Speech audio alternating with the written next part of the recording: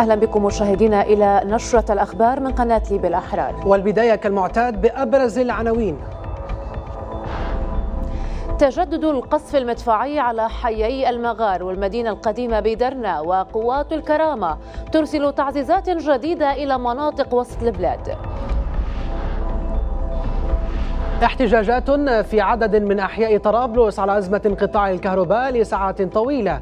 ودعوات للالتزام بالسلمية واحترام القانون. الدولية للهجرة تؤكد وجود أكثر من 650 ألف مهاجر غير نظامي في ليبيا وتقول إن شبكات التهريب أصبحت أكثر تنظيماً.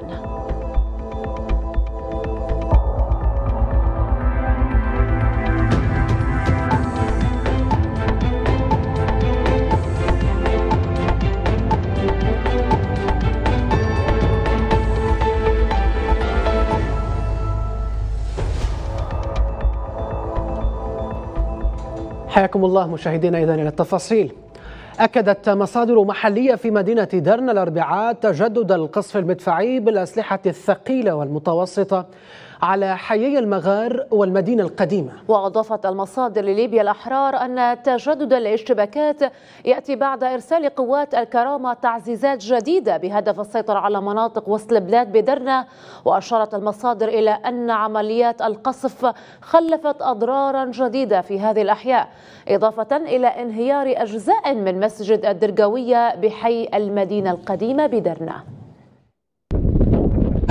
من جديد يستهدف القصف المدفعي لقوات حفتر بالمدفعية الثقيلة والمتوسطة منطقة وسط البلاد التي تشمل أحياء المغار والمدينة القديمة في درنا.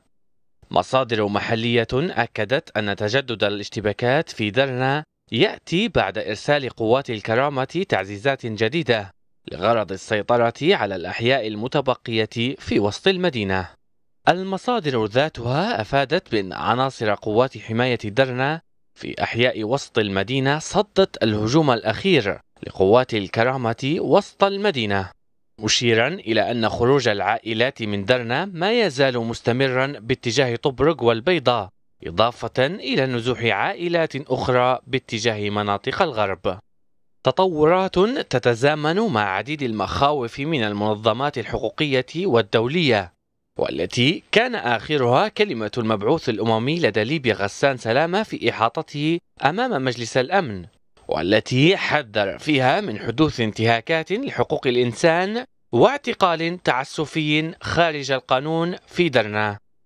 هذا الهجوم والقصف المدفعي على الأحياء السكنية بالمدينة يأتي رغم إعلان قائد عملية الكرامة خليفة حفتر قبل ثلاثة أسابيع ما سماه تحرير مدينة درنا كليا ممن وصفهم بالمجموعات الإرهابية في المدينة. ونبقى في مدينة درنا حيث أعلنت شركة المدار الجديد عودة خدمات الشبكة للطريق الساحلي من غرب درنا إلى منطقة كرسة ومنها للطريق المؤدي إلى منطقة الأثرون ومحطة منطقة رأس الهلال. وأضافت الشركة وأوضحت على صفحتها بفيسبوك أن العمل جار على إرجاع الخدمة إلى منطقة لاثرون كليا في انتظار توفير أعمدة الكهرباء والأسلاك الهوائية بالتعاون مع الشركة العامة للكهرباء.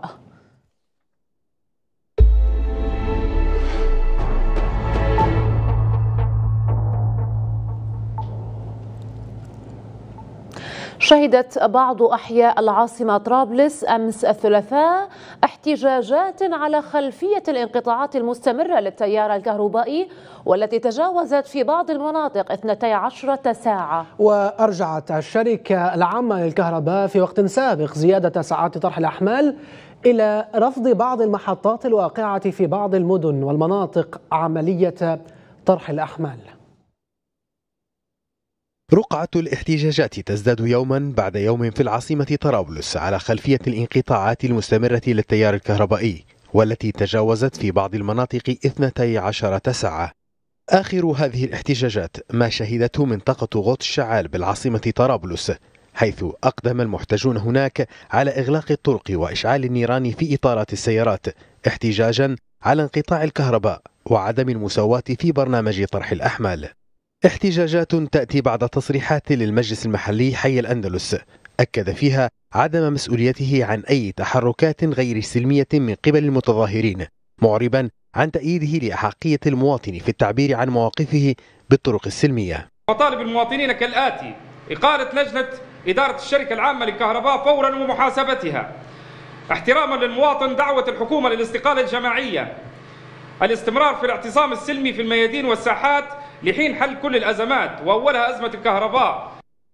تصريحات جاءت على خلفية احتجاجات شعبية في بلدية حي الأندلس نتيجة تزايد ساعات طرح الأحمال من قبل الشركة العامة للكهرباء. الشركة العامة للكهرباء من جانبها أرجعت زيادة ساعات طرح الأحمال إلى رفض بعض المحطات الواقعة في بعض المدن لعملية طرح الأحمال من بينها محطة جنزور ومحطة غرب طرابلس والزاوية. إضافة إلى تحديد بعض المناطق ساعات طرح الأحمال بحيث لا تتجاوز الساعتين محذرة من إمكانية وقوع انهيار بالشبكة نتيجة لهذه الأفعال. احتجاجات تتجدد كل عام في مناطق متعددة من ليبيا دون أن تلوح في الأفق بوادر تشي بانتهاء أزمة الكهرباء التي طال أمدها وأصبحت كابوسا يؤرق المواطنين مع اشتداد كل فصل شتاء أو صيف. هذا وتواصل الفرق الميدانية لخدمات المستهلكين بالشركة العامة للكهرباء.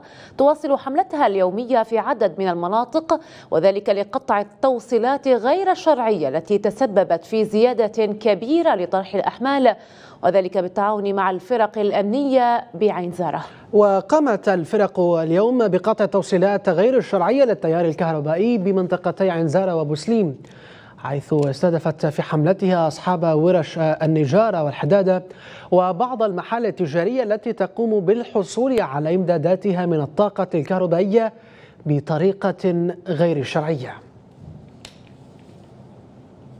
بدورها عقد بمقر الشركة العامة للكهرباء الاجتماع الثاني الخاص بالمنطقة الجنوبية وذلك لمناقشة المشاكل والصعوبات التي تواجه الشبكة الكهربائية العامة بالجنوب. وناقش الاجتماع أيضا الذي ترأسه مساعد المدير التنفيذي لشؤون الخدمات المساندة بالمنطقة غيث علي. ناقش الإشكاليات المتعلقة بنقل المواد وتأمينها وتأمين المخازن اللازمة لها.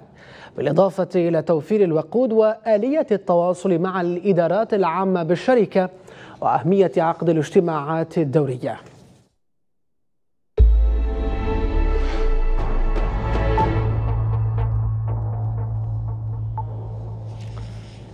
نفى المتحدث باسم رئاسة أركان القوات البحرية العميد أيوب قاسم اتهامات منظمة برواكتيف الإسبانية بترك خفر السواحل الليبي امرأة وطفلا يموتان على متن قارب للمهاجرين في المتوسط. وقال قاسم في تصريح لليبيا الأحرار الثلاثاء إن خفر السواحل.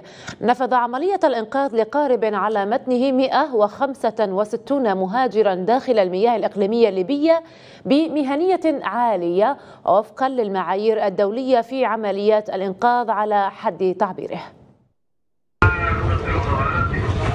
يبدو أن شبح الهجرة غير النظامية لا يزال يطفو على سطح الواقع الليبي ولا يأبى إلا أن يكون حملا ثقيلا على كتفيه ليمسي هاجسا يؤرق السلطات كونه من أهم القضايا الخلافية بينه وبين حلفائه من الاتحاد الأوروبي حول وجهة المهاجرين ومساعي إيجاد موانئ لاستقبالهم.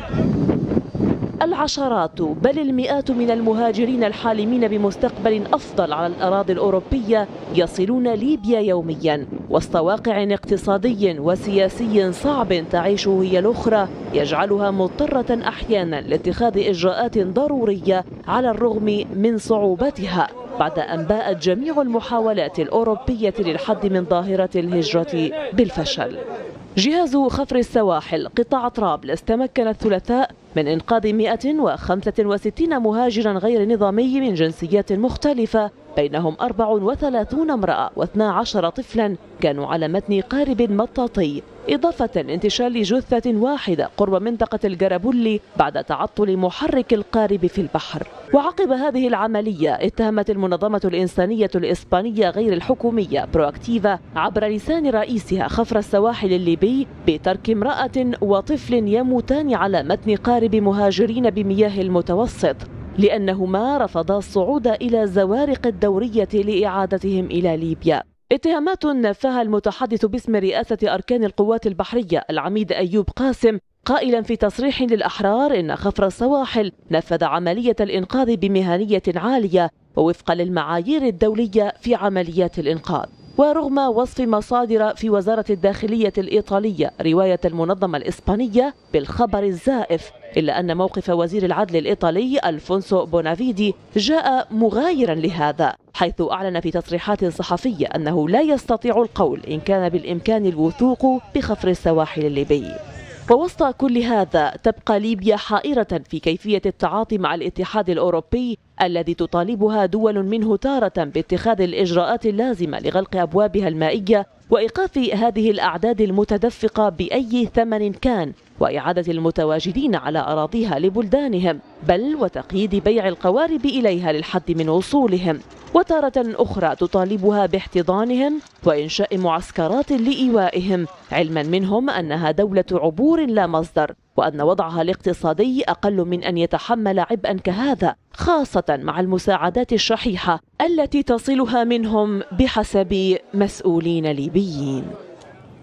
أكد رئيس المنظمة الدولية للهجرة في ليبيا عثمان بليبسي وجود أكثر من 650 ألف مهاجر غير نظامي في البلاد. منهم ما لا يقل عن 9000 في مراكز الإيواء. وكما دعا الممثل الخاص لمنظمة الأمم المتحدة للطفولة في ليبيا عبد الرحمن غندور دعا من جهته إلى اتخاذ إجراءات فورية لحماية الأطفال المهاجرين أثناء تنقلهم في ليبيا عقب حادثة زوارة. بعد عمليات الإنقاذ الأخيرة في المتوسط أكد رئيس المنظمة الدولية للهجرة في ليبيا عثمان بلبيسي أن عدد المهاجرين في مراكز الإيواء تضاعف في الأشهر الأخيرة بسبب زيادة عمليات حرس السواحل الليبي بالبيسي وفي تصريحات له من لندن أكد وجود أكثر من 650 ألف مهاجر في ليبيا منهم ما لا يقل عن تسعة ألاف في مراكز الإيواء.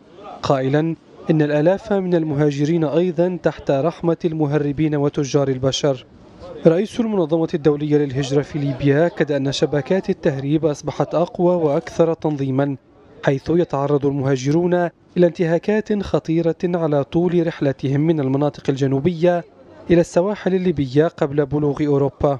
وفي هذا السياق دعا الممثل الخاص لمنظمة الأمم المتحدة للطفولة في ليبيا عبد الرحمن غندور إلى اتخاذ إجراءات فورية لحماية الأطفال المهاجرين أثناء تنقلهم في ليبيا وتوفير بدائل للرحلات الخطرة والمميتة. دعوة غندور جاءت بعد العثور على جثث ستة أطفال في شاحنة على الطريق إلى مدينة زوارة موضحا أن أكثر من 23 ألف محاولة لعبور المتوسط من ليبيا تم تسجيلها خلال الأشهر الستة الأولى من العام الجاري. السلطات الليبية من جهتها وبإمكانياتها البسيطة أنقذت أكثر من ثمانين ألف مهاجر خلال السنوات الماضية لكن ذلك لم يمنع العديد من المنظمات الدولية من توجيه أصابع الاتهام لحرس السواحل الليبي في أكثر من مناسبة.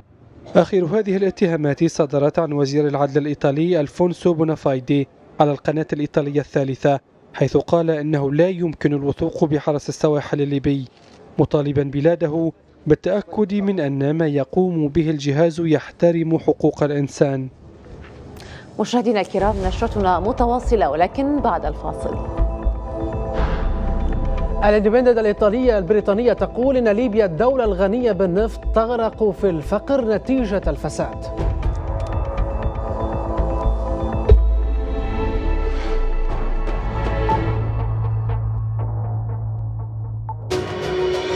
واصدرنا قرار بإنشاء الحرس الوطني، جاءتني تقارير استخباراتية بأن الثوار أو من يسمون نفسهم الثوار يريدون بهذا الحرس الوطني أن ينقلبوا على الدولة، في بنغازي كانوا أعضاء في الإخوان المسلمين وأعضاء في حزب العدالة والبناء وكانت الحكومة غير مقبولة، إحنا حولنا لهم في يوم واحد 100 مليون دينار. تشكلت كتائب ودعمتها الحكومة. أي كتاب تحت مظلة وزارة الداخلية. اي أي كتاب. كتا... كتائب الصواعق والقعقاع. وفي النهاية هذه الكتائب تدخلت هذه ما في تشكلت. السياسي عندما وجهت رجل، في بيان. معلومات غير صحيحة يا رجل. إذا كان في حكومة تتمتع بكل الرشد في حكومات التي جاءت بعد فبراير وحكومتنا رئيس الوزراء الأسبق علي زيدان ضيف برنامج الشاهد في جزئه الخامس. يأتيكم في الأوقات التالية.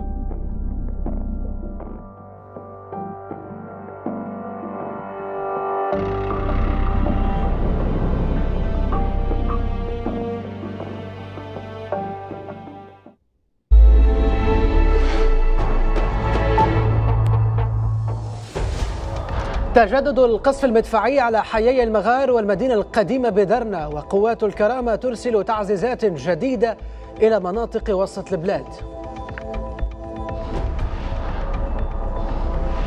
واحتجاجات في عدد من أحياء طرابلس على أزمة انقطاع الكهرباء لساعات طويلة ودعوات للالتزام بالسلمية واحترام القانون. الدولية للهجرة تؤكد وجود أكثر من 650 ألف مهاجر غير نظامي في البلاد وتقول إن شبكات التهريب أصبحت أكثر تنظيماً.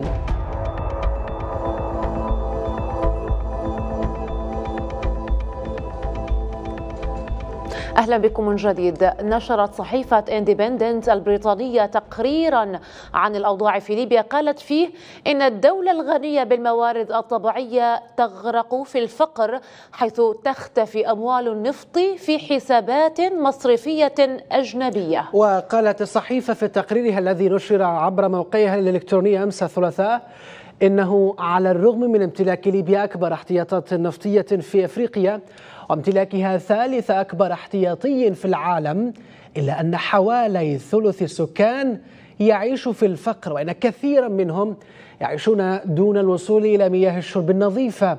أو شبكات الصرف الصحي المناسبة. وكما رأت الصحيفة أن أسباب الفقر في ليبيا الذي تعانيه تكمن في عمليات الفساد الذي كان مستوطنا في عهد القذافي إلا أن حدته زادت في الآونة الأخيرة بمعدلات غير مسبوقة وفق الصحيفة. رفض رئيس قسم شؤون الشرق الأوسط وشمال أفريقيا في حلف شمال الأطلسي نيكولا دي سانتوس إلقاء مسؤولية ما يحدث الآن في ليبيا. على تدخل الناتو في 2011 وقال دي سانتوس في تصريحات نقلتها صحيفة اليوم السابع المصرية قال إن هناك أخطاء ارتكبت من جميع الأطراف أوصلت ليبيا إلى ما هو عليه اليوم. مشيرا إلى أن حلف الناتو يرى أن النجاح في ليبيا كان بنسبة 50% كما أضاف دي سانتوس أن جامعة الدول العربية فضلا عن الليبيين هم من دعوا الحلف إلى التدخل في ليبيا عام 2011 قال رئيس حزب العدالة والبناء محمد صوان إن هناك طرفا يتلقى دعما إقليميا يسعى إلى استمرار الانقسام وإفشال أي محاولة لتجاوز الأزمة في البلاد. وأضاف صوان خلال لقائه المبعوث الأممي إلى ليبيا غسان سلامة أضاف أن هذا الطرف يسعى لإفساح المجال لمشروع عسكرة الدولة كخيار وحيد وهو ما يفسر سلوك ما سماها القلة المعرقلة التي ترفض إيفاء مجلس النواب بالتزاماته وتتحكم فيه. وطلب صوان بممارسة الضغط الكافي على هذه الأطراف ومن يقف خلفها مشددا على أن استمرار هذا الوضع يهدد بتنامي ظاهرة الهجرة والإرهاب والتهريب ما يعرض أمن واستقرار ليبيا والمنطقة بأسرها للخطر حسب قوله.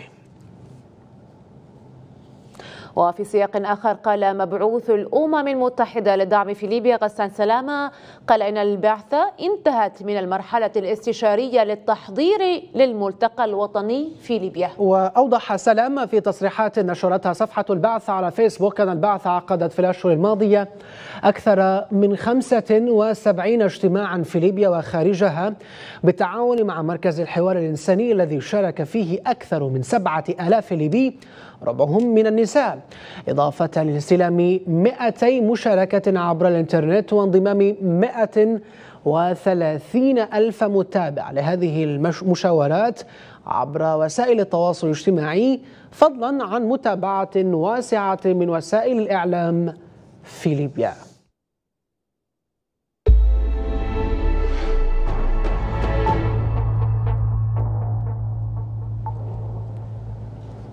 أعلنت وزارة التعليم بحكومة الوفاق سماحها بدخول الطلبة للدور الثاني بغض النظر عن عدد مواد رسوبهم في الدور الأول. وأوضحت الوزارة في بيان لها أن القرار جاء نتيجة للصعوبات المختلفة التي يمر بها الطلاب والتي أثرت على استعدادهم لأداء امتحاناتهم في الشهادة الثانوية بالشكل المأمول حسب وصفها.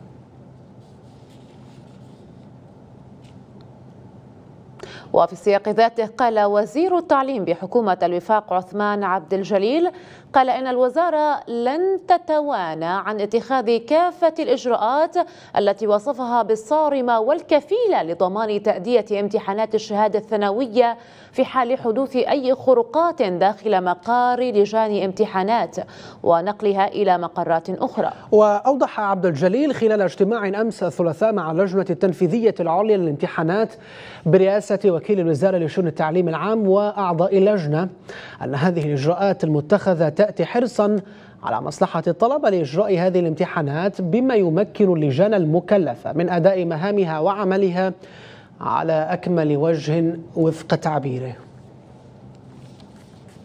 أكدت لجنة مراقبة الامتحانات الثانوية بجامعة غريان سير عملية المراقبة بشكل جيد مشيرة إلى أن عددا من الطلبة اشتكوا من صعوبة الأسئلة في بعض المواد. كما أبدى بعض الطلبة انزعاجهم من الانقطاع المتكرر للكهرباء ولساعات طويلة مشيرين إلى أنهم لم يتحصلوا على أساتذة في بعض المواد العلمية. هذا وتفقد رئيس جامعة غريان محمد غومة تفقد سير العملية التعليمية بكلية العلوم في الجامعة للإطمئنان على سير امتحانات الشهادة الثانوية. الكثير من الطلبة بل جلهم يشكون و آه، يتحججون بعدم دراستهم لبعض المقررات الدراسية في المدارس وعدم استكمال المناهج ويشعرون بالظلم والإجحاف بقرار وزير التعليم. من جهة وضع البلاد ومن جهة قرارات الوزير اللي تعبتنا ومن جهة قرارات شركة الكهرباء. يعني في النهاية في اليوم النهار كله بيقعد الضي هرب. بيجيك في الليل نفس الشيء الضي هارب معاهم في ظاهرة الغش نقطة لظاهرة الغش. أقل شيء يعطونا الوسائل. يعني ما دام مدرونا في كليات ما قلنا شيء. عادي ما عندناش اي إشكالية. العام فات علينا هنا نص العام ما قريناش شيء. اعتصامات وأبلات في اللي تجي وفي اللي لا. المانج مش تامينه وفي الكتابات جينا متأخرات.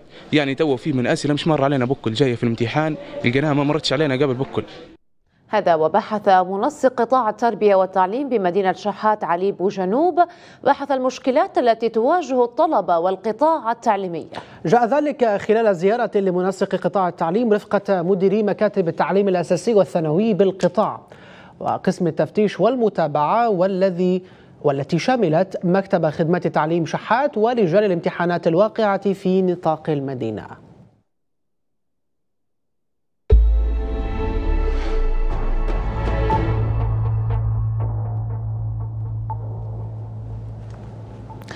أعلنت المؤسسة الوطنية للنفط يوم الثلاثاء حالة القوة القاهرة على عمليات شحن النفط الخام من ميناء الزاوية النفطية. ووفق الموقع الرسمي للمؤسسة فقد جاء هذا الإجراء عقب تراجع مستوى الإنتاج في حقل الشرارة نتيجة الهجوم الأخير واختطاف أربعة من موظفي شركة أكاكوس. جرى الإفراج عن اثنين منهم لاحقاً. وكما أضافت المؤسسة أن تراجع مستوى الإنتاج في الحقل إلى 125 ألف برميل يوميا يكفي لتلبية متطلبات مصفاة الزاوية ولكنه لا يسمح بتوفر أي فائض للتصدير. أصدرت وزارة المالية بحكومة الوفاق الثلاثاء قرارا بتكليف لجنة تتكون من خبراء ماليين تابعين للوزارة.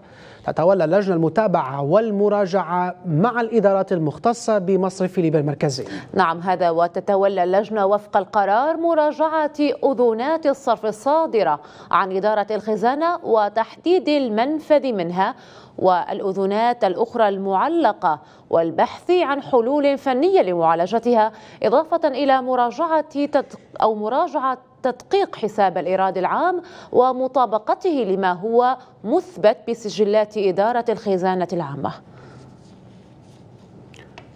دعا رئيس المؤسسة الليبية الدولية للمعارض والمؤتمرات عمر قرواش دعا الشركات التونسية للمشاركة في معرض ليبيا للغذاء المزمع تنظيمه في شهر ديسمبر المقبل.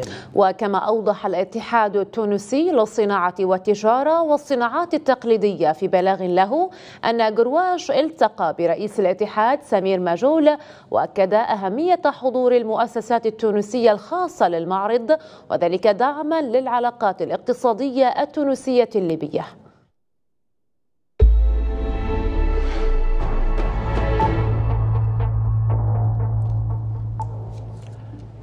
أعلن المجلس البلدي سبها تشكيل غرفة أمنية مشتركة في المدينة تحت إشراف مدير مديرية الأمن في المدينة لمكافحة ظاهرة انتشار الجريمة في سبها وقال عميد بلدية سبها حامد الخيالي في تصريح لقناة ليبيا الأحرار الثلاثاء قال إن تشكيل غرفة أمنية مشتركة تضم كافة القوى الأمنية يأتي في ظل تزايد أعمال الحرابة والسرقة والانفلات الأمني مؤخرا وكذلك في ظل عدم اهتمام الحكومات الحالية بالواقع الأمني في الجنوب حسب قوله.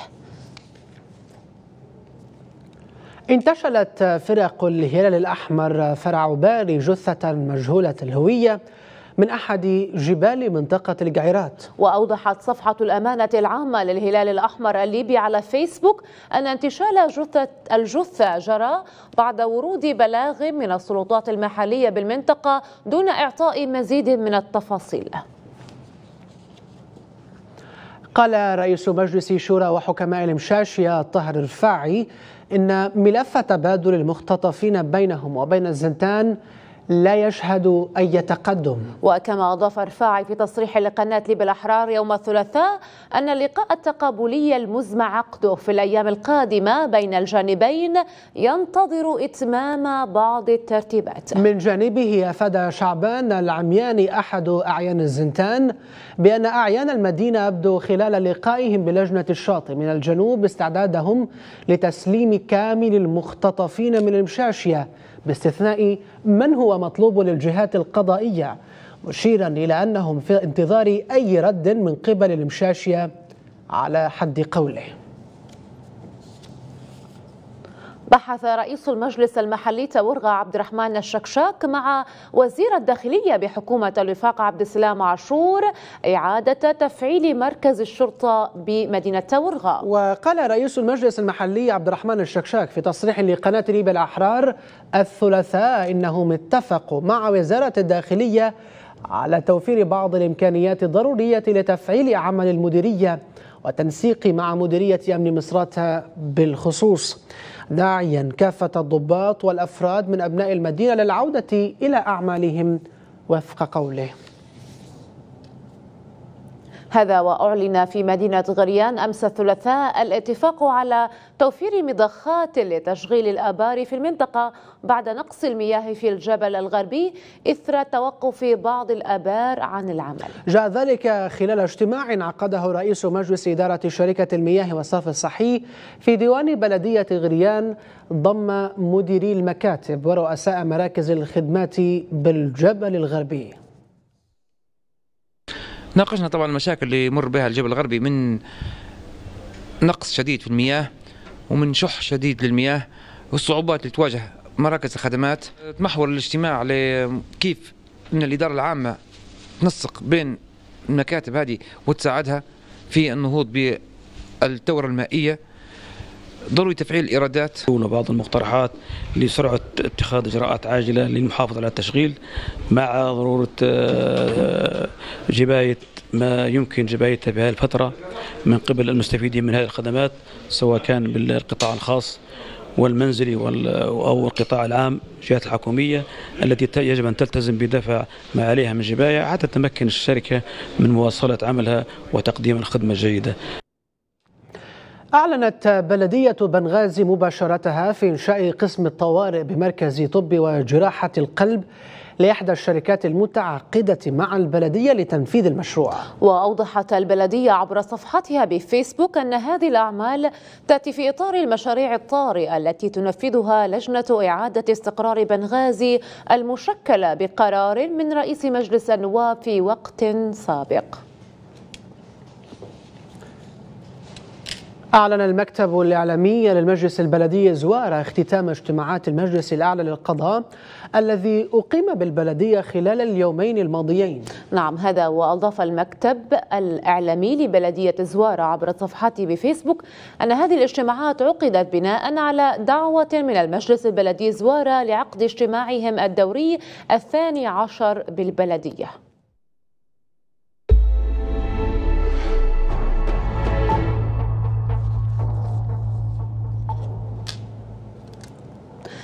بحث رئيس المجلس الرئاسي فائز السراج مع الفريق الوطني لبرنامج نقل وزراعة الأعضاء بالعاصمة طرابلس.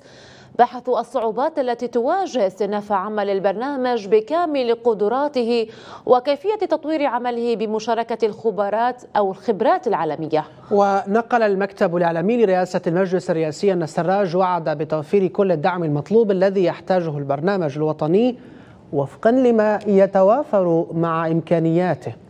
واكدا على أهمية التواصل بين المؤسسات الطبية الليبية والمراكز الطبية المتخصصة في الدول المتطورة للاستفاده من خبراتها في هذا المجال.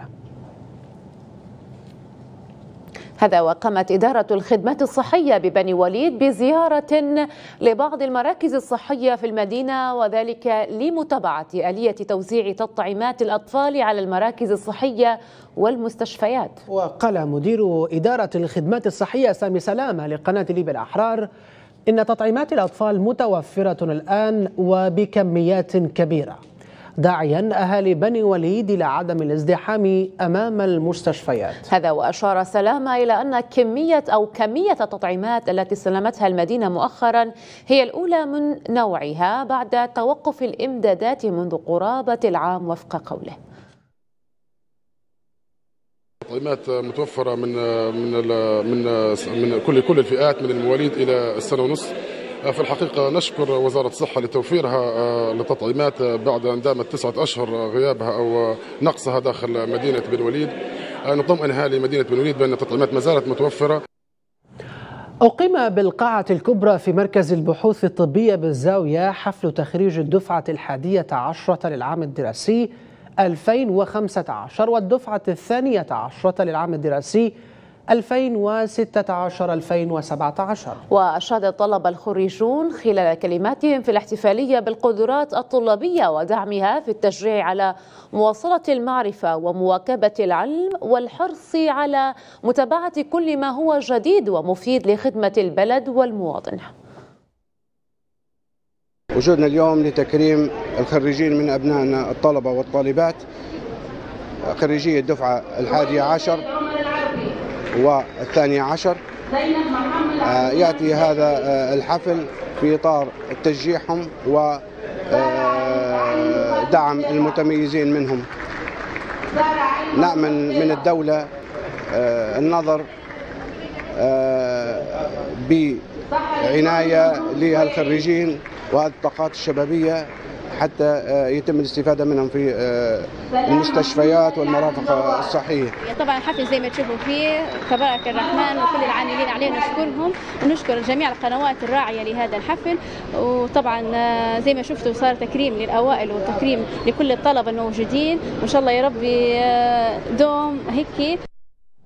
وإلى سبها حيث احتضن المركز الطبي حملة مجانية تحت عنوان عيون الجنوب والتي نظمت أو نظمت برعاية شركة المدار الجديد. وتهدف الحملة بحسب القائمين عليها إلى تخفيف معاناة المواطنين في مناطق الجنوب والتكاليف الباهظة للعلاج في المصحة الخاصة. اختتمت بمركز سبها الطبي حملة عيون الجنوب والتي نظمت برعاية شركة المدار الجديد. الحملة استمرت لمدة ستة أيام متواصلة بالمنطقة الجنوبية عن طريق إجراء الكشف المبدئي على المرضى بالإضافة إلى إجراء أكثر من 300 عملية جراحية مقسمة على فترات صباحية ومسائية.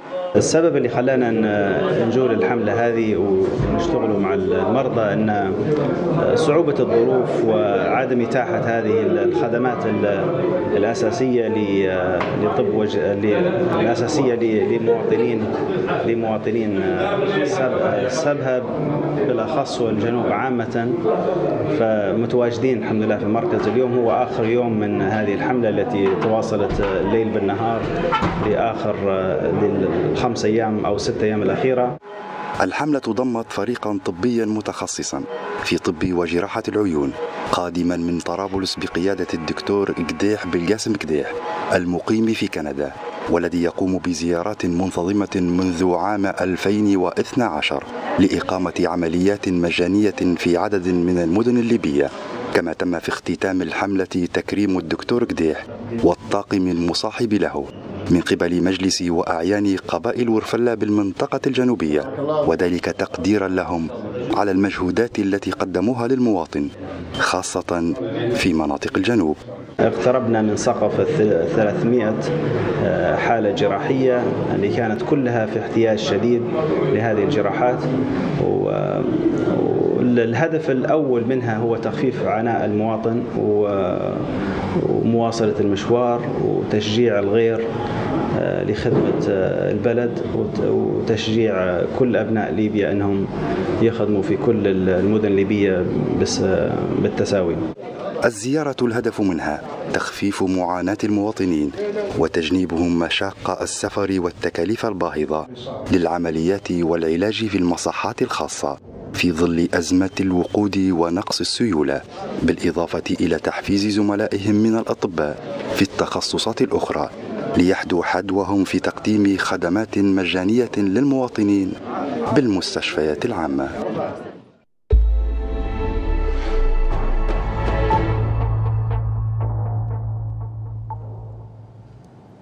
نظمت اللجنة العليا للطفولة التابعة لوزارة الشؤون الاجتماعية ندوة بعنوان الإعلام والطفولة في ليبيا. نعم الندوة التي عقدت بمقر مركز الضمان الاجتماعي بطرابلس حضرها أساتذة مختصون في الشؤون الاجتماعية ومربيات أطفال واختصاصيات علم الاجتماع. تناول المجتمعون فيها واقع الطفولة التي تعاني قلة برامج النهوض بها والرعاية الشاملة إضافة إلى غياب الأمن وانقطاع الكهرباء وكذلك الظواهر السلبية التي بدأت تبرز مؤخرا كظاهرة التسول والانقطاع عن الدراسة. حقيقة النسب عالية جدا من أمراض التوحد. هذه الظاهرة ظهرت عندنا بدأت تنتشر. نسب عالية جدا من التخلف حقيقة في مؤشرات ودراسات. ارتفاع التسول حقيقة لا يخفى على الجميع. كنا في السنوات الماضية نسب التسول عندما تقوم الوزارة بالكشف والمسح الاجتماعي لظواهر التسول تقريبا 20% ليبيين 80% الأجانب الآن للأسف حقيقة كل الإحصائيات اللي حصلت آخر مرة آخر السنة الماضية تقريبا أجريت. نسب لا بأس بها بدأت من عائلات ليبية ومن أطفال ليبيين. والله طبعا هذا بالنسبة لأن ترى الطفل يتقاسم الهم فهو أكيد طالما هو موجود في أسرة والأسرة دائما هي يعني في حوار دائم سواء كان في الغداء ولا كان على وجبة عشاء أو كان حتى في وقت الراحة الأسرة دائما هي في حوار. والأسرة هو الأب ما ما يقوم به في الشارع أو ما يقوم به في العمل يأتي للبيت ويقوم بروايته رواية تامة. كرم مكتب الدعم والإرشاد النفسي بمراقبة تعليم حي الأندلس طلبة الفئات الخاصة وذلك لإدماجهم مع باقي الطلبة بالتعاون مع بعض منظمات المجتمع المدني. نعم وكما شاركت ببرنامج ثقافية وتربوية ورياضية من أجل الترويح عن هؤلاء التلاميذ والخروج بهم من ضغط العام الدراسي. بعد انقضاء عام دراسي للأطفال فكرت جهات الاختصاص التابعة لوزارة التعليم في خلق مناخ جيد لهم يخرج بهم من ضغط الدراسة طيلة الفترة السابقة وهذا ما قام به مكتب الإرشاد والدعم النفسي بمكتب مراقبة تعليم حي الأندلس والذي اختار مصيف السلام ببلدية تجورة ليكون حاضنا للفئات الخاصة من التلاميذ لإدماجهم سويا مع الطلبة الآخرين. طبعا هذه فيها ترفيه للطالب من ضغوط امتحانات ومن ضغوط النفسية اللي اللي تواجهها وصعوبات في الدراسة. والحمد لله اجتزنا المرحلة الأخير. ف وغرضنا من هذه الاحتفالية أن الطالب يكون طالب الثانوي والطالب الفئات الخاصة يكون من في حالة جيدة ويكونوا في اندماج. طبعا نحن كمكتب الدعم وارشاد نفسي حبينا إن إحنا نكونوا المرحلة هذه هي دعم عائلي واجتماعي ونفسي للعائلات. يضم مكتب الفئات الخاصة طلبتنا من الفئات الخاصة ومعلمات الفئات الخاصه كذلك المرشدات النفسيات داخل مدارسنا ورياض الأطفال.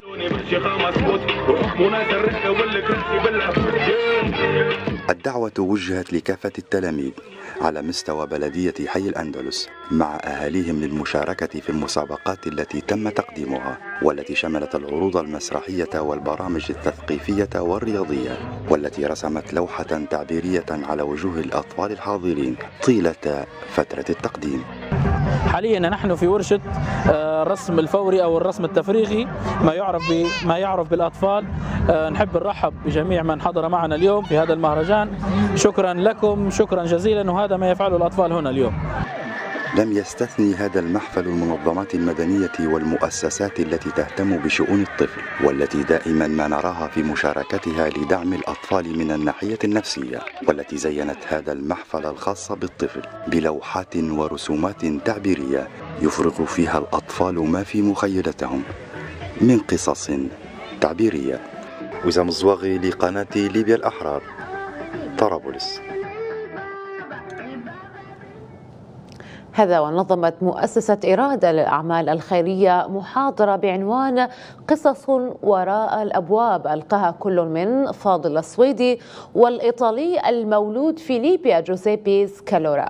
المحاضرة التي أقيمت بدار حسن الفقيه للفنون مساء أمس الثلاثاء تأتي وفقا للقائمين عليها في إطار دعم النشاطات الثقافية وخاصة ما يتعلق منها بتاريخ المدينة القديمة بطرابلس.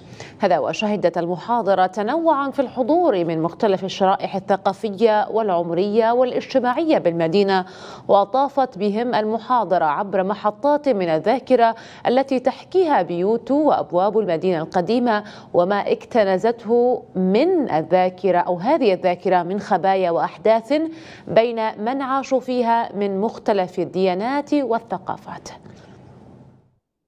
قصص وراء الأبواب طبعا هي تحكي على المدينة القديمة وتحكي على مدينة طرابلس تحديدا. إحنا نطرق في كل مرة باب وهذه قصص حقيقية وأصحابها موجودين.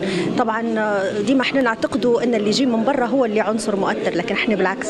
في المحاضرة هذه أثبتنا إن مدينة طرابلس هي البوتقه اللي تجمع جميع الحضارات وتجمع جميع الجنسيات وتجمع جميع الديانات. طرقنا أبواب مدينة طرابلس ذاكرة مدينة طرابلس عبر عدة أبواب. كان فيها ضيفنا أحد احد الإيطاليين المولودين في طرابلس. طرقنا بابه وباب ذاكرته. المحاضرة هي تمحور حول عدة أبواب. قطنوا هالمدينة الساحرة هذه الفاضلة طرابلس. كانوا عدة جنسيات عدة ثقافات في إشارة أن مدينة طرابلس كانت مدينة تعايش سلمي ومدينة السلام. أقيمت بقاعة المجاهد محمد فكيني بمدينة الرجبان أمسية لتأبين المرحوم محمد عمر المختار. نجل الشهيد عمر المختار. نعم الأمسية أشرف عليها مكتب الثقافة بالرجمان بالتعاون مع دار الرجبان للتراث بحضور عدد من الأعيان وبعض أصدقاء محمد عمر المختار من أبناء المدينة. هذا وتم خلال الأمسية عرض مجموعة صور لنجل عمر المختار وأصدقائه من أبناء الرجبان وصور عدد من المجاهدين من أبناء الرجبان الذين جاهدوا ضد الاستعمار الإيطالي آنذاك. نلتقي في هذا اليوم لتأبين ابن شيخ الشهداء عمر المختار محمد الذي توفى هذه الأيام وقد رأت دار المجاهد بالرجبان أن تقيم هذا الحفل المتواضع لتأبين هذا الرجل وفاء لذكرى والده شيخ الشهداء الذي ضحى وبقية الليبيين معه من أجل تراب هذا الوطن. إلى هنا نصل وإياكم مشاهدينا إلى ختام نشرتنا. وهذا تذكير بأبرز ما جاء فيها من عناوين. تجدد القصف المدفعي على حيي المغار والمدينة القديمة بدرنا وقوات الكرامة. ترسل تعزيزات جديدة إلى مناطق وسط البلاد. احتجاجات في عدد من أحياء طرابلس على أزمة انقطاع الكهرباء لساعات طويلة ودعوات للالتزام بالسلمية واحترام القانون. والدولية للهجرة تؤكد وجود أكثر من 650 ألف مهاجر غير نظامي في ليبيا وتقول إن شبكات التهريب أصبحت أكثر تنظيماً.